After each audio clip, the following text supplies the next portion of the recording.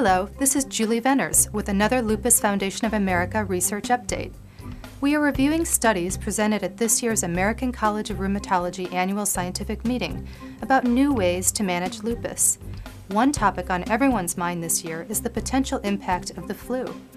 Dr. Sherry Crowe, a research assistant member at the Oklahoma Medical Research Foundation, presented data on a study that looked at lupus patients' response to the influenza vaccination.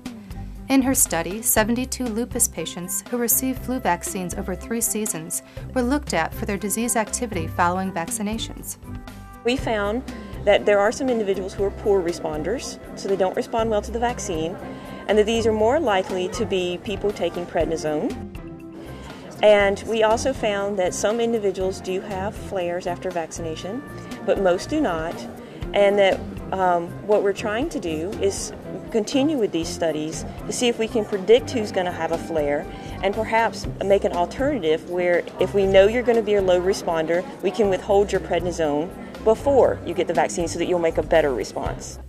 Flu vaccines are generally safe for people with lupus if they receive vaccines that contain only an inactivated influenza virus. People with lupus and anyone living with them in their household should not receive a vaccine containing a live attenuated virus. Antiphospholipid syndrome is seen in about 30% of people with lupus. Antiphospholipids antibodies react with proteins in the blood and interfere with the normal function of blood vessels. This can lead to serious complications such as stroke, heart attack, and miscarriage. Dr. Lisa Sammaritano, Associate Professor of Clinical Medicine at the Hospital for Special Surgery Medical Center in New York City, provided an update on this syndrome, including risk factors and warning signs that lupus patients should know.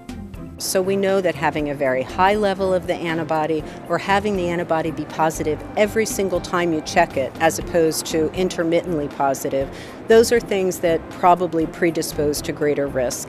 And the other important thing that's come out over the past several years in terms of recent research is that having other blood clotting risk factors makes a big difference. So for patients who have high blood pressure, who smoke cigarettes, who have high cholesterol, all of these different factors seem to work in an additive way.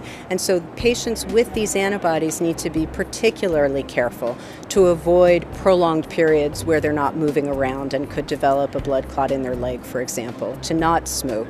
They should not take oral contraceptives because the estrogen in that can increase the risk of blood clotting.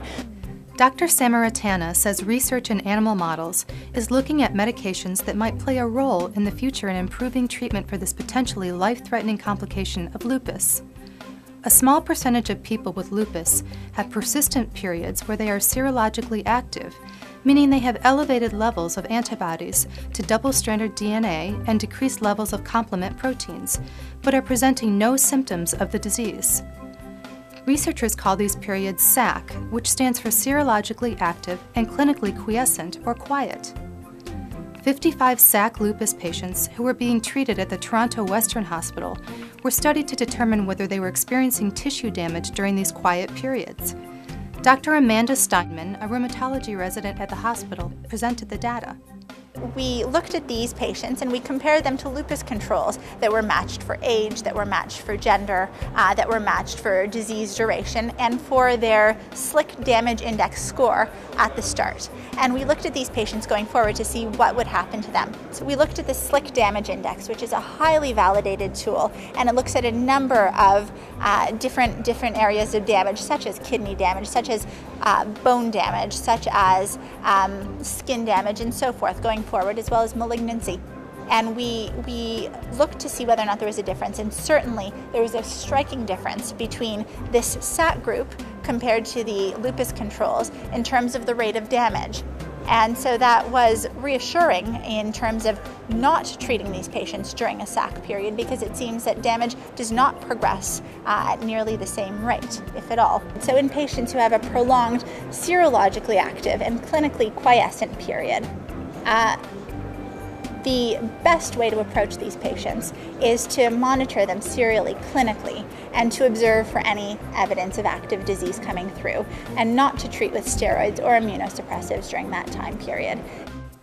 Dr. Steiman said that a good alliance between people with lupus and their physician should always be first and foremost, so patients are being constantly monitored for any hidden health problems. Long-term monitoring of the health of people with lupus can provide valuable information about the prognosis of the disease. Doctors can use this information to determine which tests to conduct and which treatments to prescribe.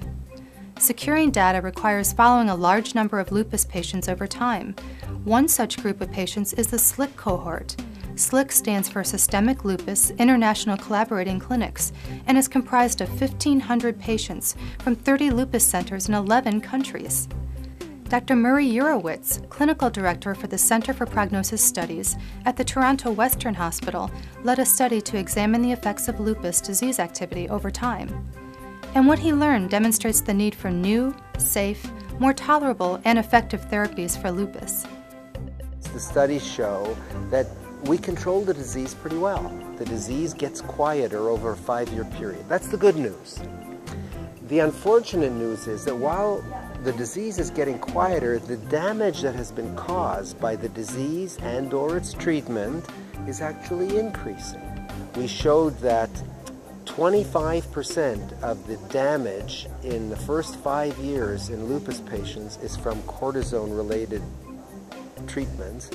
And, and another 25% is possibly related to cortisone. So, if we want to make cortisone the really bad guy, we can say almost half of all the damage that occurs in the first five years is due to cortisone. So the lesson from that is yes, we're controlling the disease better, but maybe we're controlling it by using some pretty big gun treatment. And if anything, we, have known we need more treatments for lupus. This confirms that sort of thing for us. Dr. Urowitz is the 2009 recipient of the Evelyn V. Hess Research Award, presented annually by the Lupus Foundation of America. An important requirement to conducting lupus clinical studies is having validated tools to measure disease activity and having standards to ensure that studies provide reliable data. Dr. Michelle Petri, director of the Lupus Center at Johns Hopkins Medical Institute, is leading two initiatives to update and revise two important instruments the SELENA Flare Index and the ACR Diagnostic and Classification Criteria. This original Flare Index worked very well but it isn't sufficient for current clinical trials of new medicines for lupus. The reason that it's not sufficient is that it separated out severe flares from mild to moderate flares. We know, though, that most moderate flares require treatment also. Our original SELENA flare index was really very simple. It was not divided up into organ systems.